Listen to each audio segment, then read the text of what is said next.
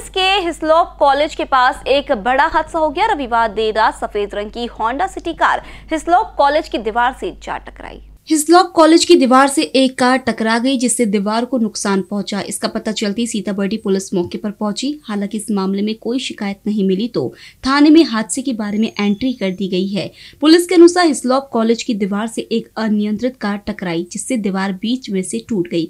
इस मामले में कार चालक और हिस्लॉप कॉलेज के संबंधितों के बीच आपस में समझाइश हो जाने की जानकारी सीताबर्डी पुलिस ने दी है। हादसे में कोई जख्मी नहीं हुआ है।